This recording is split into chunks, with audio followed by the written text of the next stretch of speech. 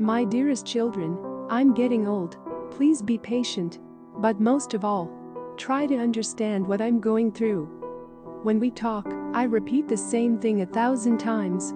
Please don't interrupt to say that I said the same thing a minute ago. Just listen, please. Try to remember the times when you were little and I would read the same story night after night until you would fall asleep. When I don't want to take a bath, don't be mad and don't embarrass me.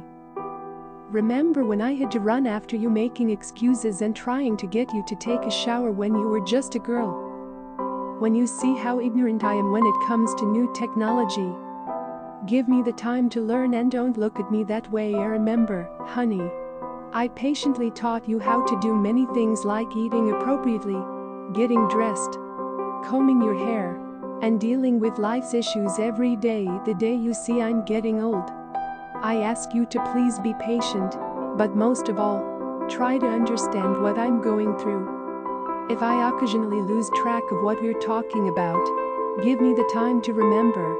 And if I can't, don't be nervous, impatient, or arrogant.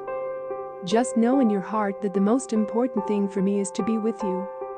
And when my old, tired legs don't let me move as quickly as before, give me your hand the same way that I offered mine to you when you first walked.